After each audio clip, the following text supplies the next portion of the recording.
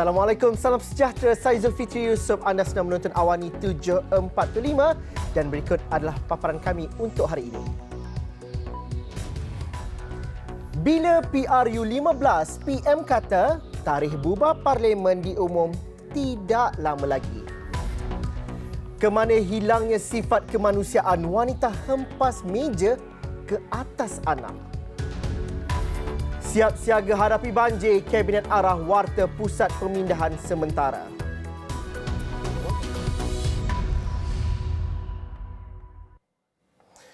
Polis menahan seorang wanita berusia 36 tahun selepas tular video memaparkan suspek menghempas meja ke atas seorang kanak-kanak lelaki berusia 8 tahun. Menurut Ketua Polis Daerah Kota Baru ACP Muhammad Rosdi Daud, Wanita berkenaan ditahan di Koklanas pada petang Jumaat. Suspek direman bermula hari ini sehingga 23 September selepas bekas suami suspek membuat laporan polis.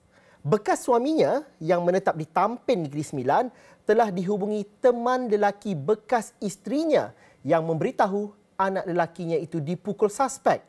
Pasangan berkenaan bercerai pada tahun 2020 dengan mangsa tinggal bersama ibunya iaitu suspek di Kota Baru manakala bapa dan adik mangsa tinggal di Tampin. Mangsa telah dirujuk ke Hospital Raja Perempuan Zainab II Kota Baru sebagai pesakit luar dan diserahkan kepada Jabatan Kebajikan Masyarakat untuk tindakan lanjut. Muhammad Rosdi berkata, kes disiasat menurut Seksyen 31 dalam kurungan 1 Akta Kanak-Kanak.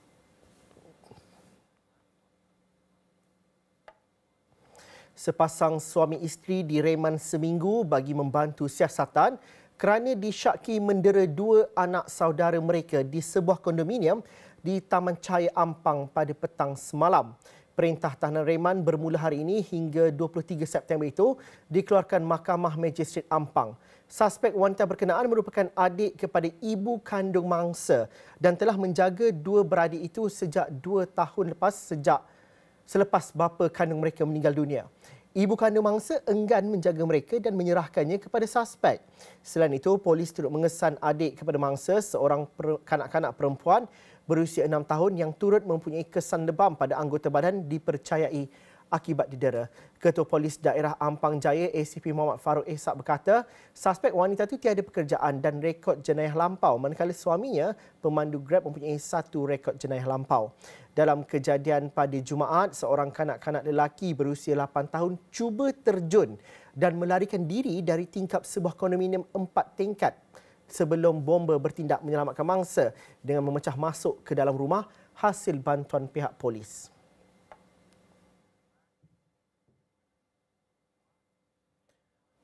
Polis menahan seorang daripada tiga suspek yang dipercayai memukul seorang lelaki warga Myanmar di sebuah kedai makan dekat Bandar Baru Menglembu, Ipoh pada Jumaat yang tular di media sosial. Ketua Polis Daerah Ipoh ACP Yahya Hassan berkata pihaknya menerima maklumat berhubung kejadian itu pada petang Jumaat dan menahan seorang daripada suspek di sekitar Ipoh pada Sabtu. Katanya polis kini sedang mengesan dua lagi suspek. Menurutnya, kejadian itu dipercayai berlaku apabila mangsa yang berusia 44 tahun mengganggu ketiga-tiga suspek yang berusia 20-an ketika mereka berada di sebuah kedai makan. Yahya berkata, suspek bertindak memukul mangsa dengan kayu dan kerusi sehingga mangsa luka di kepala dan tangan. Mangsa kemudian menerima rawatan pesakit luar di hospital. Kes disiasat di bawah Seksyen 324 Kanun Keseksaan. Jabatan Imigresen Malaysia JIM mengesan etnik Rohingya warga Myanmar masuk ke negara ini dengan menggunakan ejen yang turut menguruskan bagi mendapatkan kad Suruhanjaya Tinggi Pertubuhan Bangsa-Bangsa Bersatu bagi pelarian UNHCR. Ketua Pengarah Imigresen Datuk Sri Khairul Zaimi Daud berkata, sehubungan itu perkara berkenaan akan diteliti secara mendalam oleh jawatan kuasa di Kementerian Dalam Negeri KDN untuk tindakan selanjutnya. Khairul Zaimi yang sempat menemu bual beberapa pemegang kad UNHCR warga Rohingya semalam berkata mereka membuat pengakuan masuk ke Malaysia melalui sempadan-sempadan negara iaitu Kedah dan Kelantan dari Thailand malah mengaku ia diuruskan oleh ejen-ejen. Mereka juga mengaku ejen-ejen terbabit menguruskan perjalanan ke pejabat UNHCR di Kuala Lumpur untuk proses mendapatkan kad itu. Perkara ini akan diteliti secara lebih mendalam oleh jawatankuasa di KDN. Jelasnya etnik Rohingya bukan membeli kad UNHCR tetapi mereka bayar kepada ejen antara RM5,000 hingga RM7,000 seorang dan ejen itu akan membawa ke pejabat UNHCR. Pemahaman mereka kad itu dibeli tetapi sebenarnya mereka membayar kepada ejen-ejen yang terlibat dalam menguruskan kemasukan mereka. Sementara itu, Khairul Zaimi berkata, dalam serbuan itu, pihaknya memeriksa 36 warga asing yang bekerja di tapak pembinaan berkenaan sebelum menahan 25 orang termasuk seorang wanita kerana tiada dokumen perjalanan diri, tinggal lebih masa dan dokumen yang meragukan. Katanya, mereka yang ditahan dalam operasi bermula pukul 11.15 malam tadi itu terdiri daripada 10 lelaki Bangladesh, 8 lelaki Indonesia, 5 lelaki dan seorang wanita Myanmar serta seorang lelaki Nepal. Semua warga asing itu dibawa ke depo tahanan untuk siasatan lebih lanjut kerana terdapat dalam kalangan mereka menggunakan dokumen meragukan khususnya pemegang kad UNHCR yang disyaki tidak tulen. Beliau berkata operasi yang dijalankan itu merupakan yang ke-261 dijayakan oleh Jabatan Imigresen Malaysia Pulau Pinang sepanjang tahun ini dan seramai 193 warga asing bersama 32 majikan ditahan kerana pelbagai kesalahan imigresen dalam tempoh tersebut.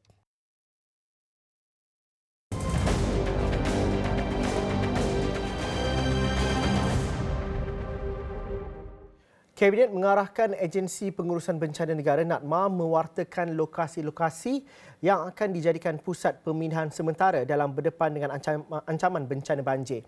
Menteri Tenaga dan Sumber Asli Datuk Seri Takirin Hassan berkata, perkara itu dibincangkan pada mesyuarat kabinet lalu sebagai langkah keselamatan susulan kemungkinan banjir besar berlaku pada Oktober dan November depan. Dalam uh, kabinet yang lepas, pada hari Rabu yang lepas, Yang Muhammad Perdana Menteri telah mengarahkan supaya agensi-agensi bencana, terutamanya NATMA ni, uh, menggazetkan tempat-tempat yang uh, sepatutnya dijadikan PPS, Pusat Pemindahan Sementara ni. Kalau sekolah dan sebagainya perlu digazetkan sekarang ini. Ekoran daripada ramalan yang dibuat oleh Met Malaysia bahawa uh, bulan 10, bulan 11 ni akan berlaku bencana banjir yang besar. Jadi atas dasar itu kabinet telah uh, memutuskan uh, penggazetan atau pewartaan kepada tempat-tempat uh, perpindahan sementara ini. Jadi telah diambil tindakan lah. Jadi kita harap di negeri Kelantan ini sendiri pun kerajaan negeri oleh kerana negeri kita ini negeri yang amat berisiko tinggi dari segi uh, banjir.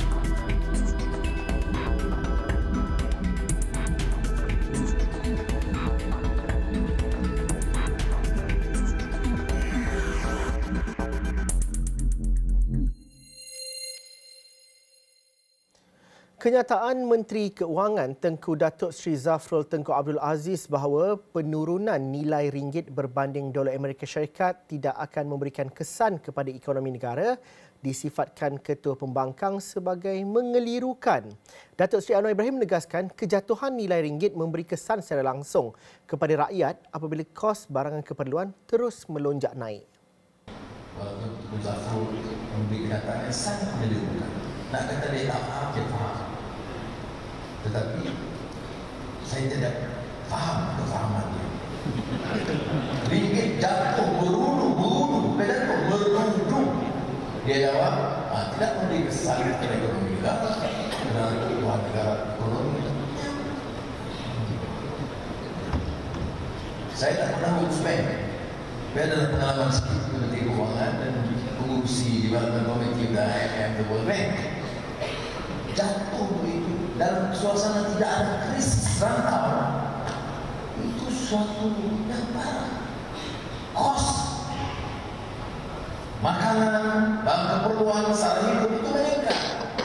Dan impor semua pertanian negara kita sudah mencapai 65 70 bilion ringgit. Dan dia meningkat kerana nilai dia jatuh. Jadi harga kian lebih mahal. Pasal kos makanan tentu akan meningkat. Dia jawab, tak ada kesan. Ya, tidak ada kesan bagi Pak Menteri dan kursi eksekutif bank yang dulu. Kerana gajinya 9 juta ringgit setahun. Orang lain yang tidak apa. Kerajaan memberi amaran kepada segelintir peniaga agar tidak memanipulasi logo halal dan menipu mengenai barang-barang ataupun bahan-bahan terdapat dalam produk dijual termasuk jenama gula-gula yang didakwa mengandungi gelatin babi seperti yang tular baru-baru ini. Menteri di Jabatan Perdana Menteri Hal Ehwal Agama Datuk Idris Ahmad berkata, Jabatan Kemajuan Islam Malaysia JAKIM akan memaklumkan kepada Kementerian Perdagangan Dalam Negeri dan Hal Ehwal Pengguna KPDHCP bagi mengambil tindakan sekiranya perkara itu berlaku. Pertamanya soal seperti begini saya harapkan orang-orang apa mereka niaga ni jangan tipu lah. Kalau ada benar babi, bagi tahu babi lah. Masalah nak kita bukan halang untuk orang lain makan. Tu hak. Pasal yang kita nak jaganya ialah untuk keperluan kepada orang Islam sendiri yang tanda halal tadi. Ha, yang keduanya janganlah sampai nak meniaga nak memperalatkan agama begitu rupa. Ha, kena jaga sensitiviti majoriti rakyat kita rakyat orang Islam. Ha, jangan sampai awak menggunakan uh, agama seperti begini tanda halal mata-mata untuk komersial yang ada kepada awak eh Beliau berkata demikian selepas merasmikan persidangan Nadwa Ulama dan Ilmuan Islam NUIM Anjuran Yayasan Dakwah Islamiyah Malaysia Yadim di Putrajaya pada Sabtu. Mengulas lanjut, Idris berkata JAKIM dan bahagian pengurusan halal negeri tidak sewenang-wenangnya mengeluarkan tanda halal. Sebaliknya, pengeluaran logo itu perlu melalui prosedur dan garis panduan ketat yang telah ditetapkan. Sumbangan itu, beliau menasihatkan masyarakat agar meneliti kandungan dalam sesuatu produk sebelum membeli dan membuat laporan segera jika ia bertentangan dengan peraturan yang ditetapkan. Terdahulu tular di laman sosial dakwaan bahawa satu jenama gula-gula mengandungi unsur babi tetapi memiliki tanda halal pada pembungkus. Jabatan Kemajuan Islam Malaysia JAKIM masih giat mengesan kumpulan ajaran sesat Hadimin Allah. Menteri di Jabatan Perdana Menteri Hal Ehwal Agama Datuk Idris Ahmad berkata serbuan telah dilakukan baru-baru ini bagaimana individu terbabit tidak berada di lokasi yang didakwa menjadi pusat operasi ajaran sesat berkenaan. Kumpulan ajaran Hadimin Allah yang berasal dari negara jiran dikesan di beberapa negeri di Malaysia dan aktif menyebarkan dakwah sesat menerusi YouTube Persatuan Nur Mutiara Mutmainnah. Hadimin Allah ni setakat hari ni tak tak dapat dikesan. Tak tak tahu siapa dia. Kita dah hari tu yang kita kata pejabat dia tu memang apa pergi tengok tapi dah tak ada memang dia tak ada orang tu kan. Jadi sebab tu kita sedang mencari lagi. Yang keduanya nak ambil tindakan itu kita mesti juga diputuskan oleh jawatan kuasa fatwa. Pasal benda ni benda tak ada lagi dalam fatwa, maka dia tak boleh tindakan. Undang-undang dah ada. Undang-undang dah ada. Tak perlu. Nak ambil tindakan tu, kena patuah. Macam katakan ajaran sesat baru. Kalau ajaran... Atau mengenai uh, di, dipatuhkan itulah sesat. Asal lah. Ha, baru boleh diambil tindakan oleh pihak penguatkuasa.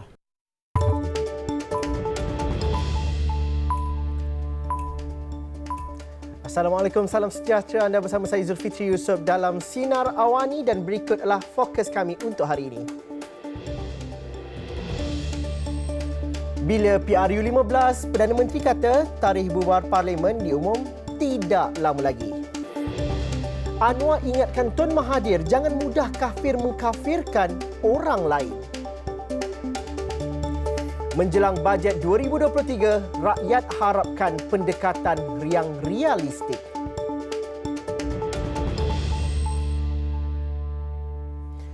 Tarikh pembubaran parlimen akan diumumkan tidak lama lagi bagi memberikan laluan kepada pilihan raya umum ke-15 PRU 15. Itu penegasan Perdana Menteri Datuk Seri Ismail Sabri Yaakob ketika berucap pada Majlis Pelancaran Jentera Pemuda Barisan Nasional di Ibu Negara hari ini. Beliau yang juga naik Presiden AMNO meminta untuk diberikan sedikit masa lagi bagi menentukan tarikhnya bersama dengan Presiden AMNO, Datuk Seri Ahmad Zahid Hamidi. Perdana Menteri berkata pertemuan dengan top 5 AMNO akan diadakan dalam waktu terdekat bagi membincangkan mengenainya. Sementara itu, Ismail Sabri menyeru pemimpin parti itu termasuk pemuda Barisan Nasional untuk menguasai peperangan secara maya dan menjawab segala tuduhan serta serangan pihak pembangkang kepada BN dan kerajaan yang dilemparkan di media sosial. Kata Perdana Menteri, kelemahan BN sebelum PRU 14 apabila tidak mampu menjawab isu-isu besar oleh pembangkang. Ketua Pembangkang Datuk Seri Anwar Ibrahim menegaskan bahawa beliau tidak bersetuju dengan tindakan parti-parti politik serta sesetengah pemimpin termasuk Tun Dr. Mahathir Mohamad dalam soal mengkafirkan pihak lain jelas Presiden Parti Keadilan Rakyat PKR itu, tindakan itu hanya mengundang kacau bilau dan bukannya tradisi budaya Islam. Tak mungkin kita bicara dengan Quran habis. Kena kupas kita. Itu yang dari kacau bilau sana. Parti ini kata parti ini kapi, parti ini bilang kata yang. Itu mahu dia bersambung juga orang kapi. Ini apa Habib daripada awal. Bila timbul soal kafir dan kafir ini ataupun mengelirukan. Saya kata timbul dua imam dua masjid dua kabilah. Dari awal dari yang menariknya Mahum Syekh Fadil Nuh yang masa itu sudah pernah naik Presiden Ahmad naik, naik Presiden PAS masih hadir dalam syurah kita. Dan memutuskan untuk mengeluarkan kenyataan yang tegas menolak kafir mengkafir tidak bersama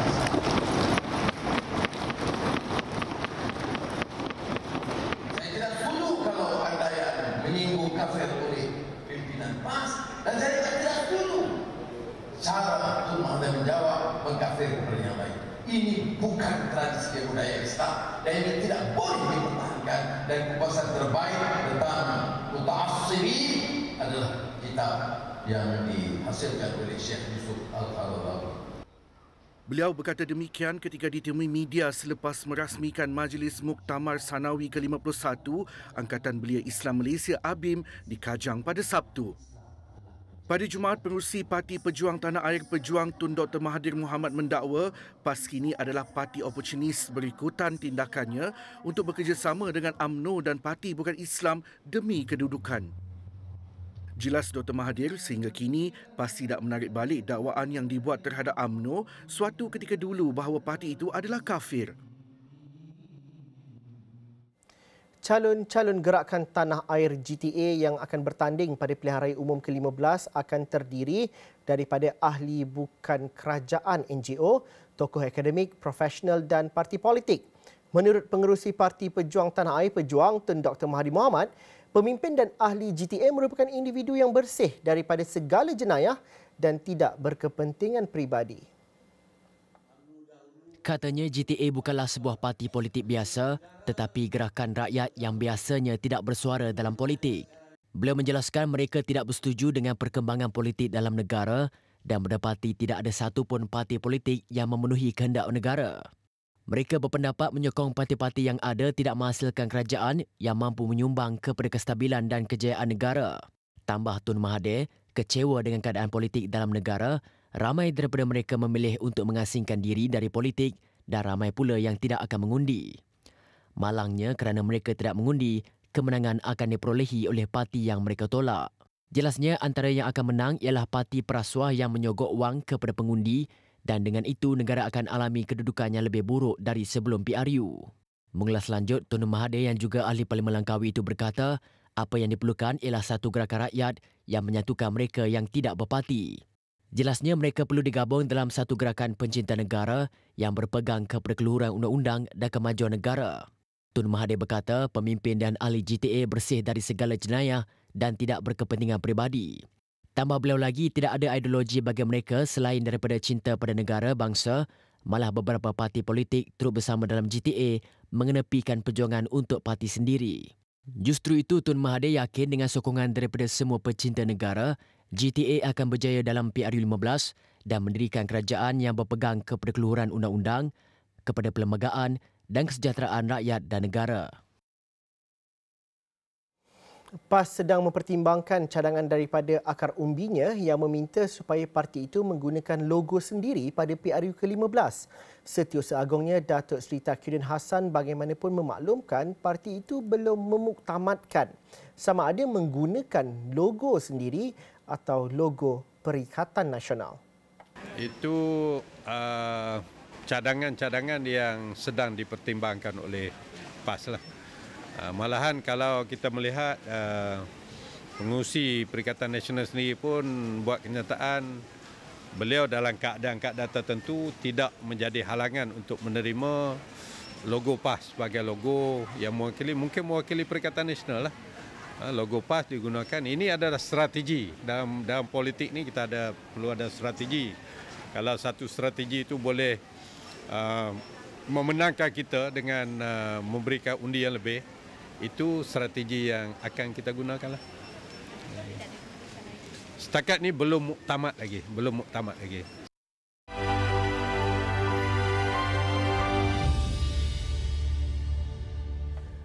Menjelang pembentangan bajet 2023 bulan depan, kerajaan diminta mengambil langkah yang sesuai untuk mengimbangi pendapatan rakyat yang sering disulami dengan kenaikan harga pelbagai barang keperluan harian.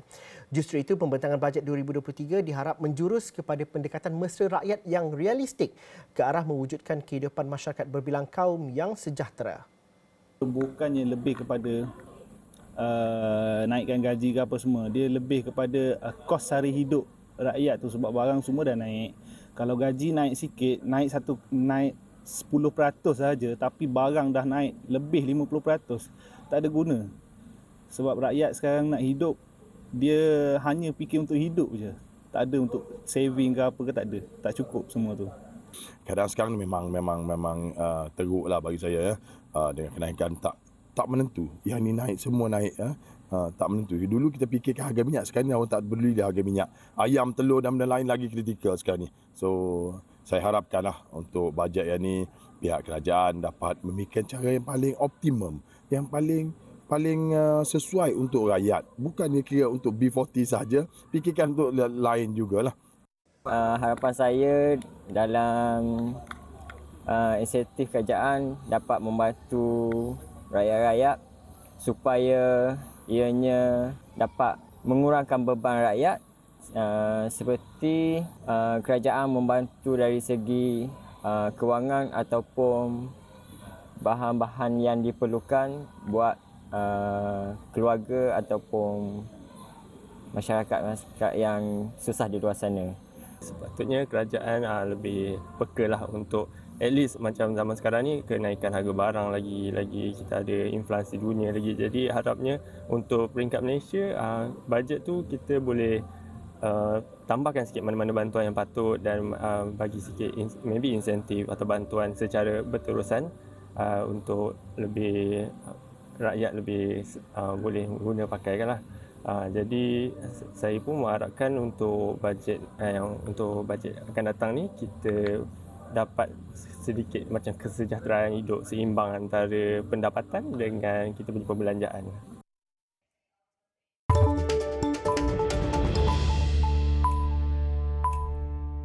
Malaysia menyeru semua pihak yang terlibat dalam pertempuran antara Azerbaijan dan Armenia agar bertenang dan menyambung semula rundingan secara aman. Kementerian Luar menerusi Wisma Putra dalam satu kenyataan menggesa langkah tersebut bagi memastikan tidak berlaku konflik yang lebih buruk dengan mencari penyelesaian bagi mengembalikan keamanan yang berpanjangan di rantau itu. Jelas Wisma Putra, Malaysia prihatin terhadap situasi semasa di Nagorno-Karabakh yang setakat ini menyaksikan lebih 150 nyawa terkorban akibat pertempuran antara Azerbaijan dan Armenia. Malaysia sentiasa menyokong berdasarkan empat resolusi Majlis Keselamatan Pertubuhan Bangsa-Bangsa Bersatu serta Forum Pelbagai Hala Pertubuhan Kerjasama Islam OIC dan Pergerakan Negara-Negara Berkecuali NAM. Selain itu, Malaysia sentiasa menyokong resolusi dan inisiatif oleh OIC dan PBB mengenai konflik Nagorno-Karabakh. Dalam masa yang sama, Malaysia turut mengundi menyokong Resolution 62/243 The Situation in Occupied uh, Territories of Azerbaijan yang diterima pakai pada 14 Mac 2008 pada sesi ke-62 Perhimpunan Agung PBB. Kata Wisma Putra, resolusi itu selaras dengan resolusi PBB yang berkaitan dengan isu penyelesaian konflik secara aman bagi menghormati integriti wilayah dan larangan mencabuli sempadan wilayah yang diiktiraf di peringkat antarabangsa. Penternak biri-biri Baka Garut mahu Kelantan menjadi hub ternakan haiwan itu bagi meningkatkan pendapatan mereka. Pengurusi penganjur pertunjukan Domba Garut, Ahmad Marzuki Abu Ahmed berkata, Garut berpotensi tinggi untuk dikomersialkan kerana nilai dalam pasaran tempatan mencecah sehingga RM5,000 seekor. Kerajaan negeri melalui Pusat Aspirasi Anak Perak Pasak menghasilkan aplikasi mudah alih talent Perak sebagai platform memudahkan golongan muda mencari peluang pekerjaan di setiap daerah. Menteri Besar Perak, Datuk Seri Sarani Muhammad berkata, pembinaan aplikasi itu merupakan usaha berterusan kerajaan negeri untuk penyediaan peluang pekerjaan dan persiapan tenaga kerja mahir yang diperlukan industri. Kerajaan Negeri Perlis sedang mewujudkan rancangan kawasan khas RKK Wang Keliana bagi memastikan pembangunan dan pertumbuhan kawasan tersebut selari dengan struktur rancangan Negeri Perlis. Esko Kemajuan Luar Bandar dan Pembasmian Kemiskinan, Pembangunan Pusat Pertumbuhan Baharu, Pelancongan, Kebudayaan, Kesenian dan Warisan Perlis, Asmaiza Ahmad berkata, RKK berkenaan belum dibentangkan dan ia masih dalam proses penyediaan. Dapatkan akhbar sinar harian esok dengan tajuk muka depan, jangan sampai jadi negara gagal.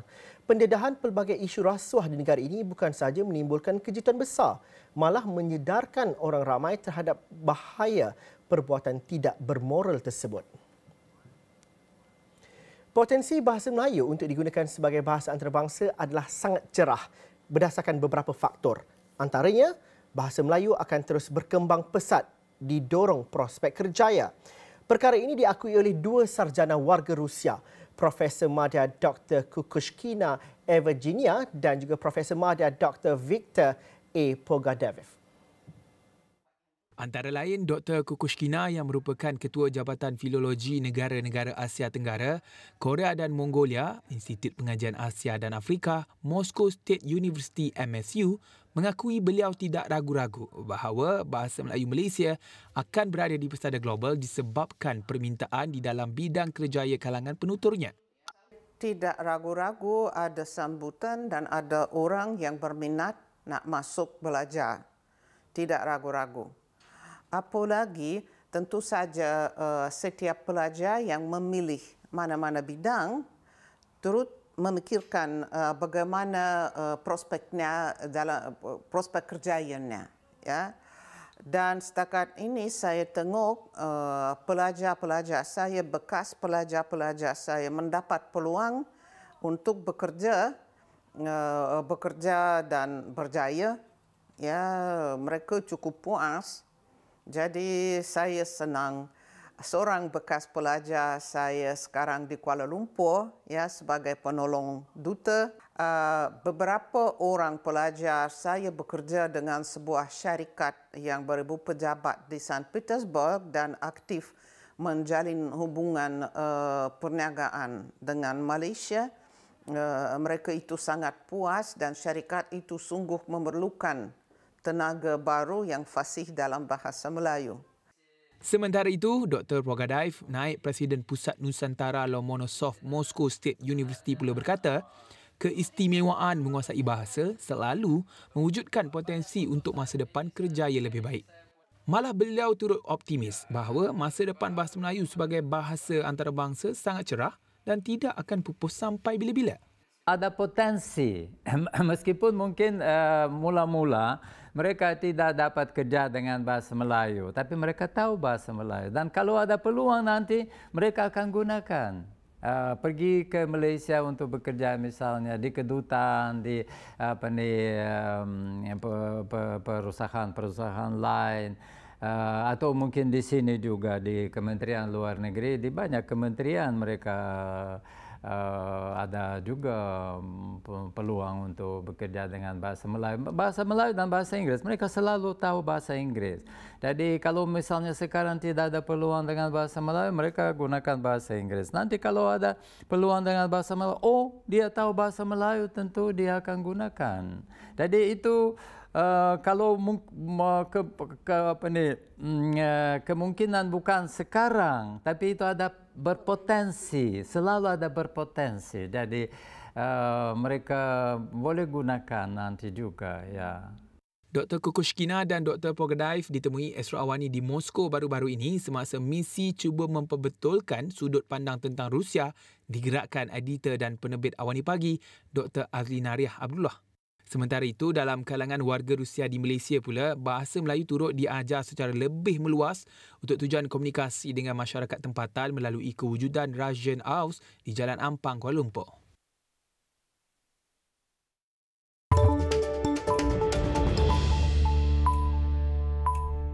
Raptai Istiadat Pemakaman Negara Ratu Elizabeth II yang dijadualkan berlangsung di Westminster Abbey pada Isnin ini sedang giat dilaksanakan.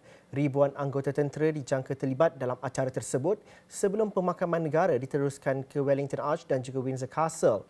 Polis London berkata pengkebumian mendiang Ratu Elizabeth II bakal menjadi acara terbesar yang pernah dikendalikan oleh anggota keselamatan itu. Mereka menggambarkan upacara tersebut mengatasi Sukan Olimpik musim panas 2012 dan Jubli Platinum Ratu ketika meraihkan ulang tahun ke-70 baginda menaiki tahta. Lebih 500 pemimpin dan kerabat diraja seluruh dunia dijangka hadir pada upacara pengkebumian Ratu Elizabeth II yang mangkat pada 8 September lalu. Bekas Kapten England dan pemilik bersama Inter Miami, David Beckham menyertai ribuan orang yang menunggu untuk memberikan penghormatan terakhir kepada Ratu Elizabeth II pada Jumaat. Kesanggupan Beckham yang beratus selama lebih 13 jam untuk memberikan penghormatan kepada raja yang paling lama berkhidmat itu turut mendapat pujian orang ramai. Beckham yang kelihatan sebab dilihat dalam barisan besar yang terbentuk di jalan-jalan di London di mana orang ramai mengambil peluang akhir memberikan penghormatan di Westminster Hall sebelum pengkebumiannya pada Isnin. Bekas pemain tengah Manchester United dan Real Madrid itu berkata beliau telah beratur sejak kira-kira jam 2.15 pagi waktu tempatan. Beckham telah bertemu Ratu Elizabeth II beberapa kali semasa pemerintahannya sepanjang 70 tahun. Beckham pernah menerima anugerah Order of British Empire OBE untuk perkhidmatan bola sepak daripada Ratu Elizabeth II pada tahun 2003. We've been lucky as a nation to have someone that has led us the way Her Majesty has led us um, for, for the amount of time, with kindness, with caring, and um, and always reassurance. I think that's the one thing that we all felt safe um, and we will, we will continue that with the royal family. But I think Her Majesty was someone special and um, and and will be missed not just by by by everyone in in our country, but um, everyone around the world. Agensi Meteorologi Jepun pada Sabtu memberi amaran taufan kuat dijangka membadai selatan Pulau Kyushu esok. Menurut agensi, jika keadaan bertambah buruk, amaran khas akan dikeluarkan bagi Kagoshima dan juga utara Kyushu, pulau utama paling selatan di Jepun. Dengan kemungkinan berlakunya ombak tinggi dan hujan lebat di wilayah itu, taufanan Madol yang ke-14 musim ini berada berhampiran pulau Minami Daito, selatan Jepun, menuju ke barat laut pada kelajuan 20 km sejam. Ribut itu diramal bergerak ke timur dan melepasi Tokyo pada selasa ini sebelum bergerak ke laut menjelang Rabu. Penduduk diarah mengambil langkah berjaga-jaga dengan memastikan berada dalam bangunan yang kukuh selain elak berada di tepi tingkap.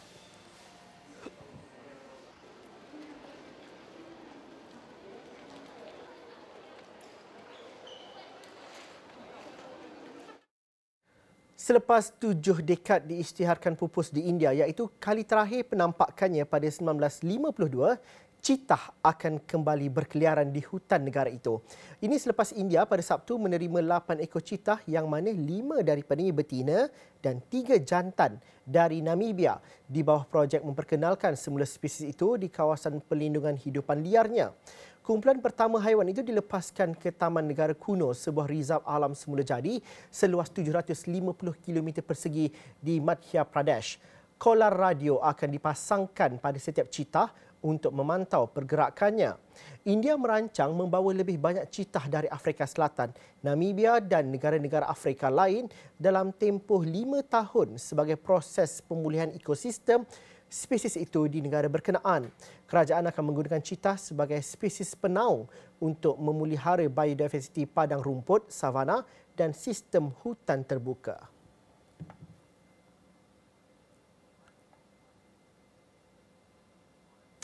Sekian bulletin Awani. Uh, sekian saja Awani 745 dan uh, siaran Sinar Awani. Ikuti info terkini mengenai negara di fasa peralihan endemik di halaman mikro interaktif di astroawani.com sekarang dan juga segala maklumat lain dalam astroawani.com dan juga aplikasi Astro Awani. Terima kasih kerana menonton saluran berita paling dipercayai di Malaysia. Saya Zulfikri Yusof. Salam hormat.